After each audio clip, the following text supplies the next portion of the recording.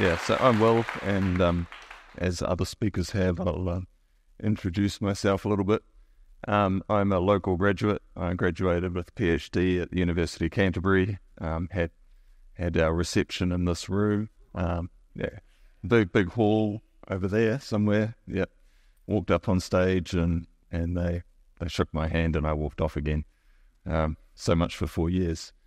Um, so yeah, my PhD was in redundant number systems um, and implementing them in FPGAs. Um, so what does that mean? It means I have a PhD in how to add two numbers together. Um, it's yeah, you do lots of things with redundant numbers when you don't have the same number of digits as the bases in your number. Um, it's it's a lot of fun, and I'd love to talk to you about it.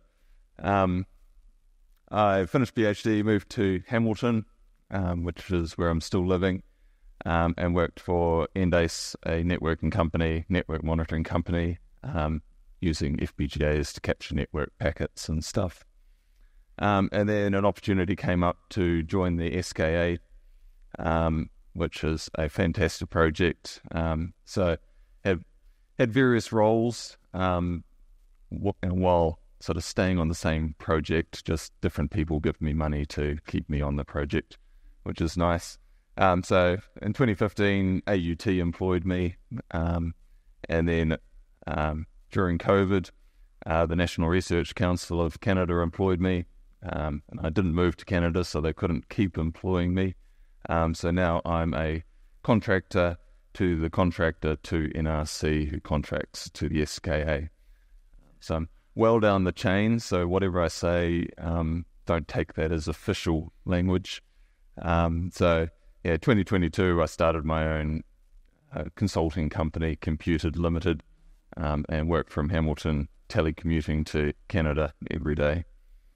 Um, after hours, this is things I do. I play hockey. Um, I like to fly, but since COVID haven't, hasn't because lack of time, you can't you can't fly part time. Not a good idea. Um, but in two two weeks' time, I'll be playing a Masters hockey tournament in Wellington. So I'll be back to Wellington in February. So not too bad. Um, and a little bit of gardening on the side. Uh, bottom left is my my latest crop. Um, so I'll tell you about my new hobby next year. Um, and with my brother, I've uh, been telecommuting and working from home for, for seven years and got sick of that. So we bought an office, and my new job is now renovating an office. Um, and uh, uh, down here we have uh, Hamilton's oldest public artwork, uh, which is now in my possession um, from 1956. Yeah. Oh, and picture up here I put in for David. Um, so this is me uh, measuring the ceiling um, using a piece of three millimeter solder, uh, builder's solder, and you can you can map your map your ceiling in 3D and then transfer it to to your piece of plywood that you're trying to fit up into those gaps. A lot of work, um, but looks awesome. Yeah. So my day job is working on the Square Kilometre Array Radio Telescope. Um, the official line is one observatory, two telescopes, and three continents. Um, there used to be three telescopes, and between me being offered my job and me uh, moving to AUT, um, that third telescope, the survey telescope, was was cut. It was no more. Um, so I almost didn't have a job again. Um, but fortunately, I was I was put into the correlated teams of um, the mid telescope and the low telescope. So MID is led by the Canadians and the Low Telescope by CSIRO in Australia. Um, so at the moment, we're building SKA1, which is 10% of the square kilometre. So that's 1 million square metres. Um, and we have a budget of about 700 million euros to build this thing. Um, and most of that goes into civil works. Um, and then SKA2, which is somewhere in the future and some timeline, um, and has some budget. Um, I don't know if you extrapolate, maybe you'll get close. Um, that's very much in the future, but I'm looking forward to that too. Um, so a million square meters. Um, how big is that? That's really big, right? So here is Christchurch. Um, you can find multi-core world. This is this is the the room we're in here. Um, and if you go for a 40 minute walk, you might walk around the city, and that'd be a million square meters. Um, SKA1 is the is the box up here. Um, so that's where we're going, and in 2024 we'll we'll have this box hopefully. Um, and just for reference, the largest radio telescope in the world, a, a single dish radio telescope, is the FAST telescope in China, which is the uh, 500 meter spherical aperture uh, telescope, something like that. Um, so it's a 500 meter wide dish, uh, but the receiver can only illuminate 300 meters of it, a 300 meter diameter, the smaller circle there. Um, and that allow, allows them to steer the dish around the sky a little bit. Um, so the SKA is going to be huge, um, and the SKA 1 will compete very strongly with all other telescopes in the world.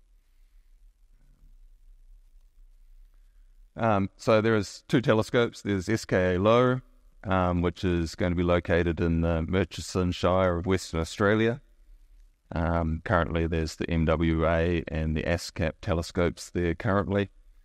Um, and the low refers to the low frequency range that it's going to be sensitive to, which is 50 to 350 megahertz. So it's only 300 megahertz of bandwidth. Um, in SKA1, there will be 131,072 antennas in the Australian outback. Um, so it's 2 to the power of 17 for, for the computer nerds. Um, so, and that'll be 512 stations of 256 antennas um, spread out over about 65 kilometres of area. Um, and those stations, they look something like this um, with these Christmas tree antenna things.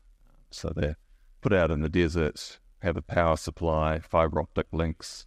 This is, this is a real photo. Yeah, yeah. So this is a drone shot. Um, and yeah, I think they've got a couple of stations now built. Um, so they're they're moving towards their first array release, which I think is six stations. And I work on the mid telescope now, um, designing the correlator. Um, that's going to be located in the Karoo Desert in South Africa. Um, has a frequency range of 350, so where the low telescope leaves off up to 15.4 gigahertz. Um, and there's five frequency bands in there. So we look at a certain chunk of bandwidth within there. Um, and our largest bandwidth is 5 gigahertz, um, simultaneously looking at 5 gigahertz on the sky. So right it up at the 15.4 gigahertz end. Um, so we're going to have 197 dishes, um, which is a prime number because someone's funny.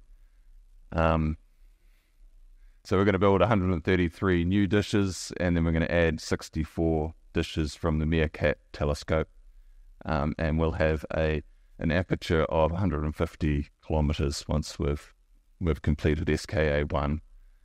Um, um, so these are the dishes here. Um, this dish exists, and they call this one SKAMPI. So this is now an operating telescope as of early this year um, with their first light image here.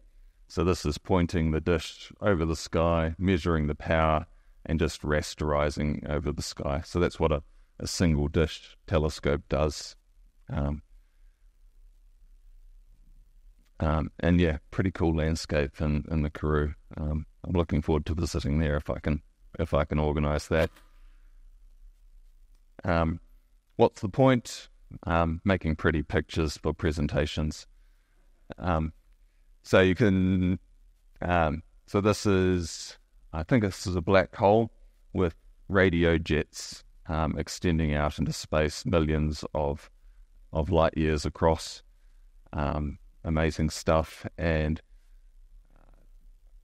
that side there's a supernova in the middle there, um, with I think they call that the mouse shooting out from it, and they they think that is the the binary companion star um, of the one that exploded. So his friend went, Boop, so he ran off in, into intergalactic space. Um, and the one at the bottom in the grayscale and the and the yellow in the middle, that's that's our galaxy. That's the center of our galaxy in radio. Um, and you can see features like supernova in the in the bottom right corner there. Um, um, this I took a screenshot of the SKA website. It's an amazing website. Um, this is, these are three of the science goals. I think there's five, um, including looking for aliens, um, because that gets you money. Um, interesting things like probing the, the, the cosmic dawn, so the, the start of the just after the Big Bang, what happened, um, um, the dawn of the the epoch of reionization comes soon after, which is the birth of the first stars, and the stars start um, ionizing the neutral hydrogen that was left over after the Big Bang. Um, everyone likes to challenge Einstein. Um, so far, nobody's been successful, but the SKA is going to try. Um, that's looking at at pulsar stars orbiting black holes and testing relativity in extreme gravitational environments and, and fun things like that. Um, and cosmolo- cosmology and dark energy, so that dark matter thing that you hear about, and dark energy, which is making our universe expand. Um, what the hell is it? Where did it come from? Um, is it going away? All those sorts of big questions. Um, so the SKA is going to be bigger and better than anything that was built before um, in all possible dimensions, um, which is a great engineering challenge because they want to do everything and do it the best. Um, so we've got other telescopes down here. So in the Netherlands, the LOFAR telescope, um, which has got stations across Europe, um, do low frequency stuff quite well. Um, so this is their their sensitivity. Um, giant meter wave radio telescope is in India. Um, it's had a recent upgrade, I believe, and the Jansky Very Large Array um, in the US, which is famous for movies like Contact and and things like that. Um, they SETI runs on that and all sorts. It's um, it's a big telescope, and the Canadians also built the correlator, or the upgraded correlator for that uh, that telescope too. So SKA1 will have a greater sensitivity due to the greater collecting area of the dishes, um, and SKA2 will have even more dishes, uh, 10 times as many more dishes. So that sensitivity will go up, which means you can see fainter and fainter objects. Um, and then they also talk about survey speed. So, how fast can you look across the sky? How often can you survey the sky? Um, so greater sensitivity helps with that, and then being able to move your telescopes and do the signal processing faster um, helps as well. Um, so I work in this thing called the central signal processor. So we get um, data from the dishes out in the Karoo Desert. Um, they're sampling as hard and fast as they can, and we get we get 100 gigabits per second line rate across an Ethernet from those dishes, um, and that's running 24 um, 7. We won't get a break. And that all streams into the correlator. So if you multiply out the number of dishes by the data rate, you get about two terabytes per second of data coming into the front end of our machine um, continuously. Um, and we have to process that in real time because you can't store that. Um, traditionally, you would in a radio telescope, but we can't store any of that. So we have to correlate that on the fly. Um, what's here? Um, so our the correlator takes each of those dishes and mashes them, mashes each of those signals together um, in pairs. So there's n squared pairs of data. So there's a huge amount of compute we have to do for all of that data.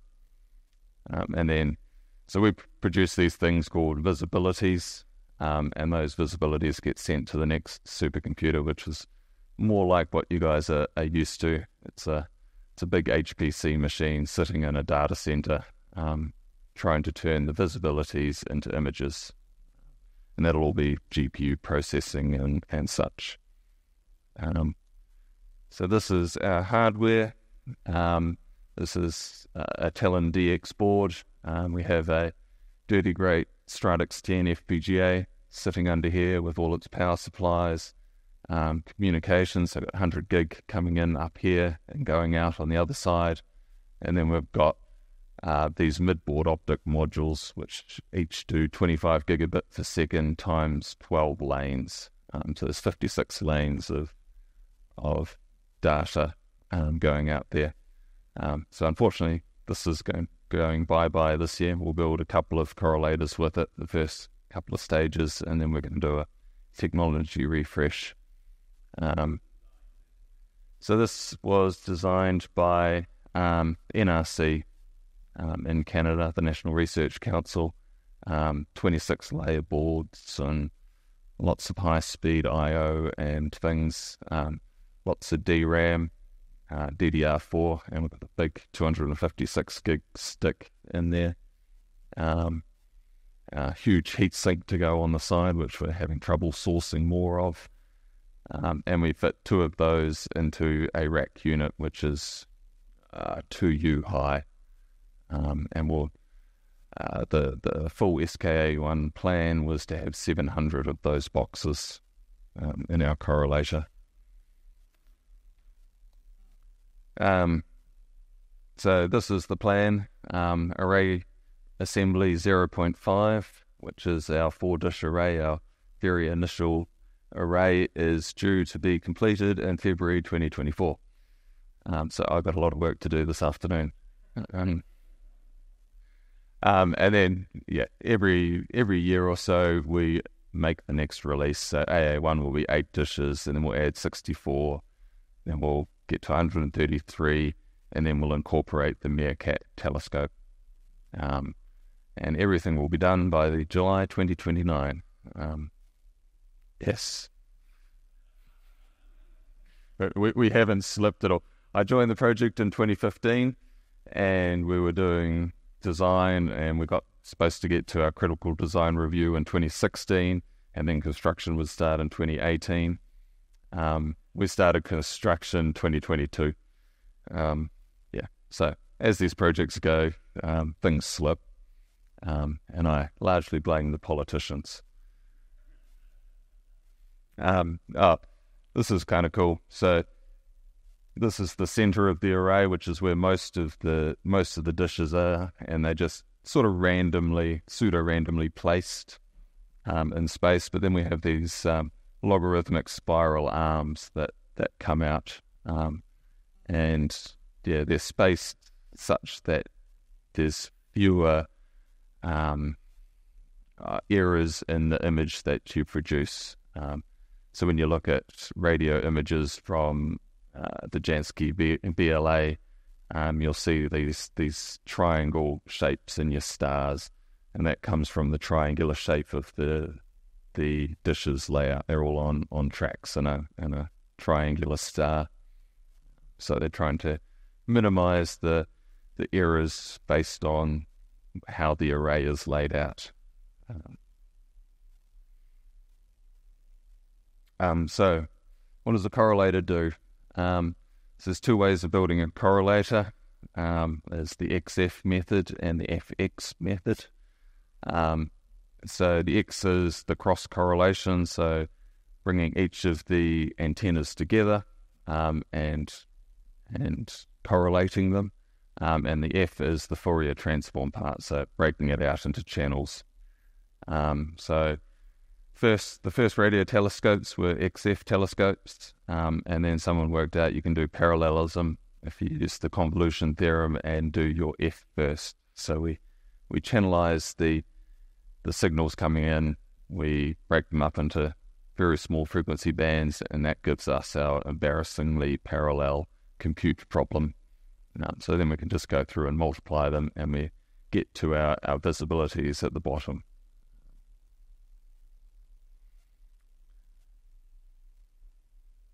Um, yeah, so the correlator is the is the blast furnace of the SKA.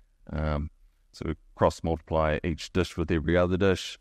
Um, so with 200 antennas, um, multiply that by two because each antenna has two polarizations of, of, radio waves they receive, the X and Y polarization. So that looks like 400 antennas to the correlator. Um, and you multiply that by n, you square that, and that's the number of cross multipliers you need to do. Um, and after you've cross multiplied, then you accumulate and uh, you bring the signal level up or you beat the noise down by the central limit theorem. So we accumulate about 2,000 samples together um, to produce our visibilities at a rate of about seven a second.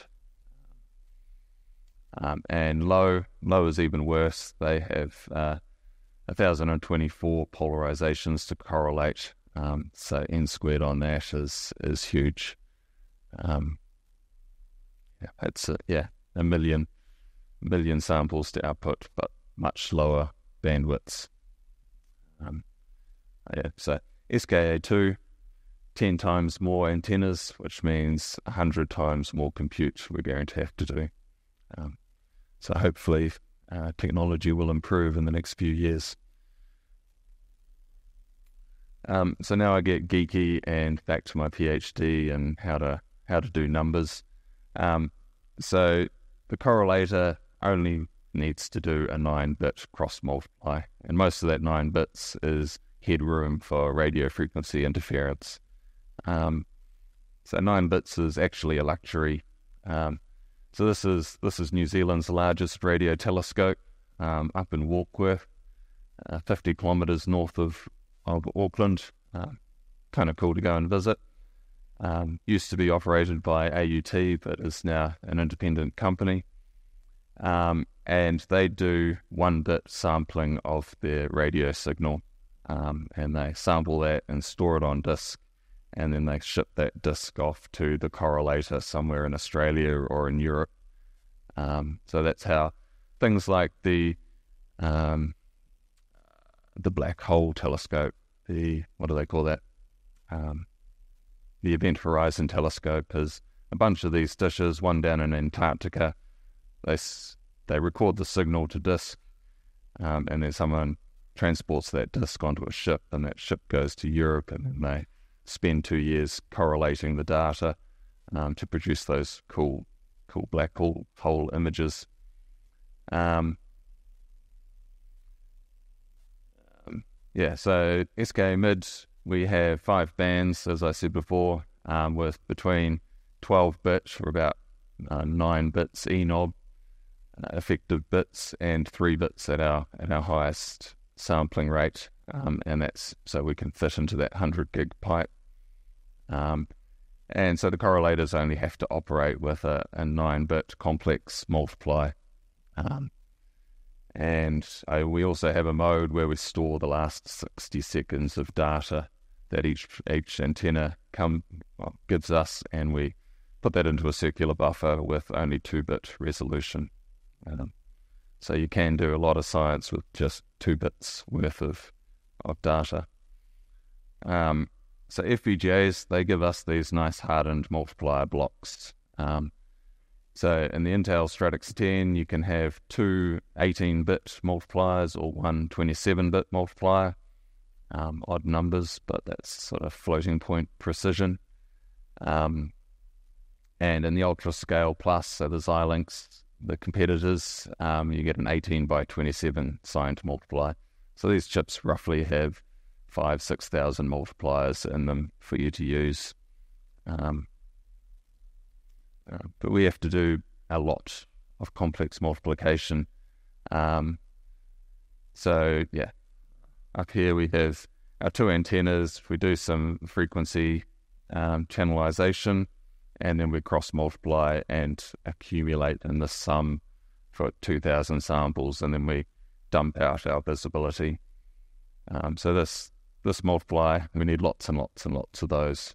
Um, so there's two ways of doing uh, complex multiplication. You can do the, the Cartesian way, um, which is what most of you will have seen at school, but there's also the Karatsuba multiplication where you can replace one multiplication by a couple of additions instead and, and use this stuff. Um, but that doesn't save you. It's it's not enough of a reduction in number of multipliers. Um, so if you just use 9-bit multipliers and assigned each of those to your 18 plus 18-bit multiplier, then you're you're only using 25% of that multiplier's capability, um, which I don't know. That's not good. You've paid for the rest of those multipliers. You should should use them. Um, so we came up with this scheme to be able to compute an entire nine by nine bit complex multiplier in one 27 bit multiplier. Um, so we can do those four Cartesian multiplications um, inside that one correlator uh, multiplier. Um, so you've got your Cartesian bits here, and you can work out how to construct your 27 bit number on each side, and then you can use these four regions in grey um, to compute the partial products of your complex multiply. Um, and then luckily, uh, the B, uh, the P, B times C plus the A times D are in the same columns in your multiplier, so they get added immediately, and that's that's very nice. So it's only left for you to compute the AC, which ends up at the low end of the multiplier, and add that to the BD uh, to get this term.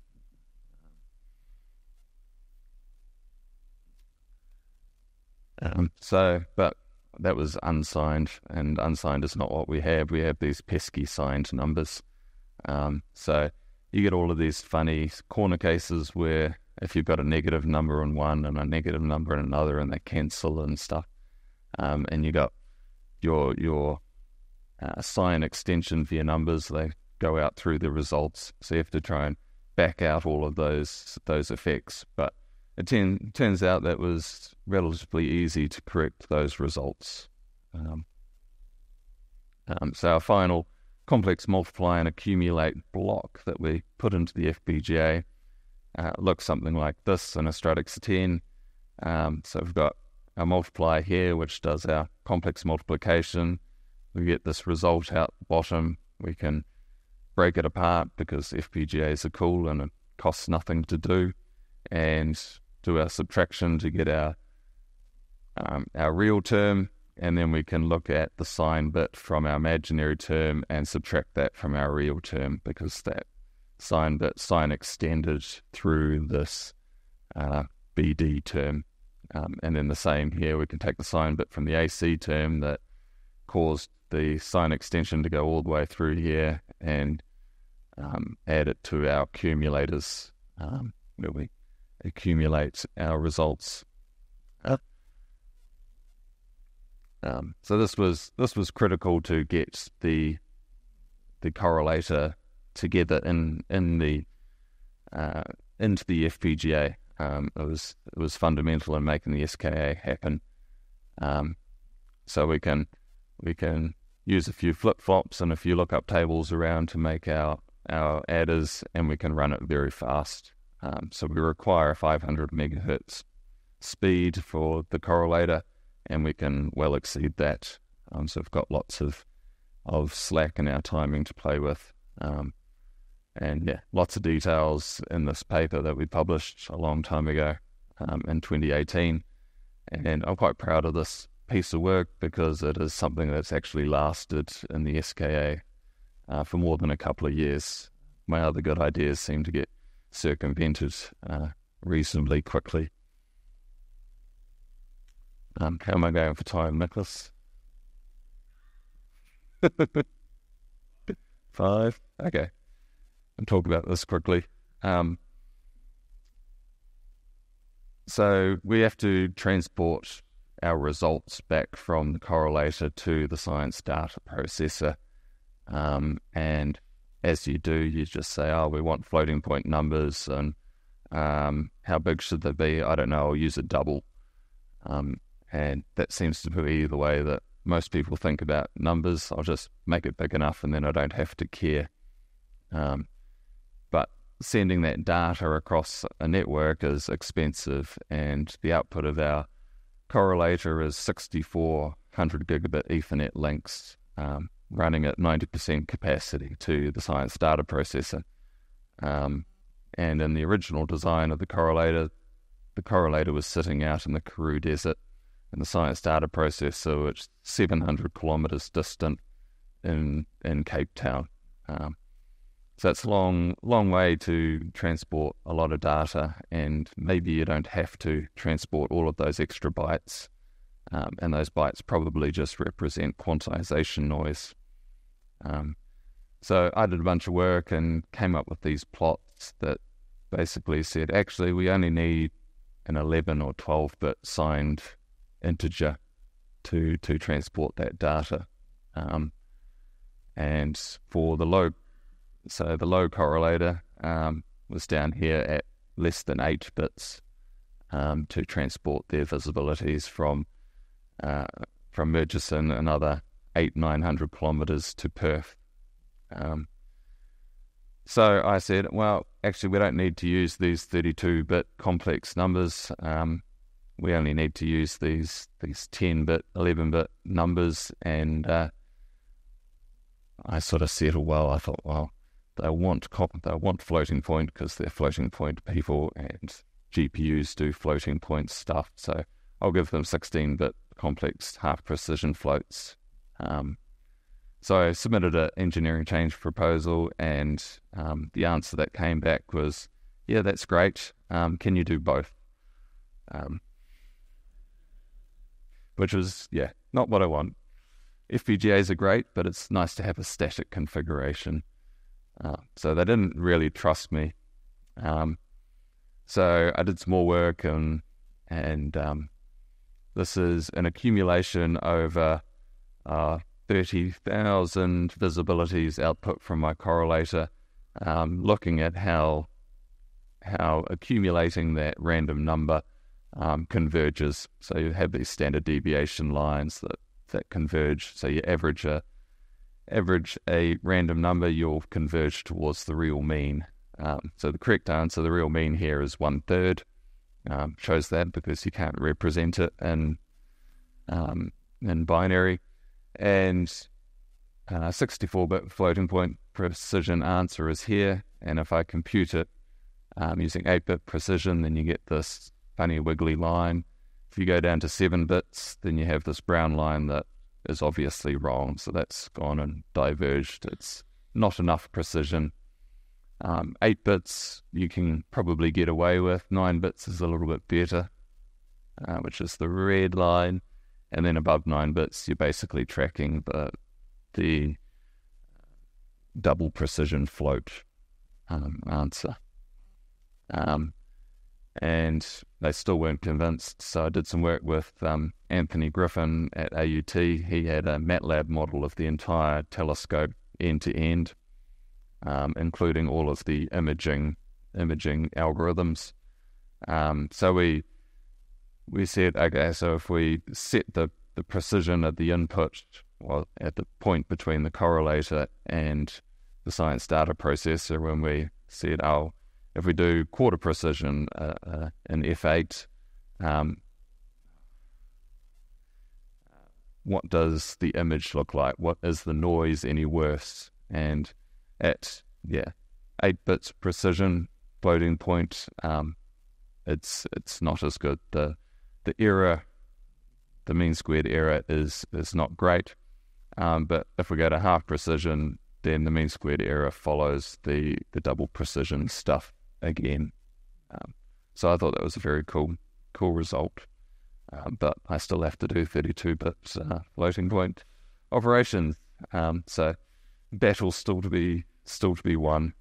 Um, so looking to the future, uh, multi-core world 2025. Um, we're currently going through a technology refresh. Um, so gone are the Stratix 10 and uh, in come the new Agilex FPGA. Um, so another another process node better. Um, it'll approximately halve the number of FPGAs we need, and and we'll also on top of that get um, uh, some power savings. Um, we move from DDR4 to HBM, which is awesome. Um, and we're going from our custom custom design boards to COTS boards. Um, and at the same time, um, we've also got the contract to do the ALMA correlator upgrade. Um, so ALMA is this telescope down here um, at 5,000 meters in Chile. Um, yeah, 66 dishes, I think. Um, and yeah, it's going to be a cool project. They're going from 6 gigahertz of bandwidth to 60 gigahertz of bandwidth. So huge increase. Um, so that they'll do some more amazing science.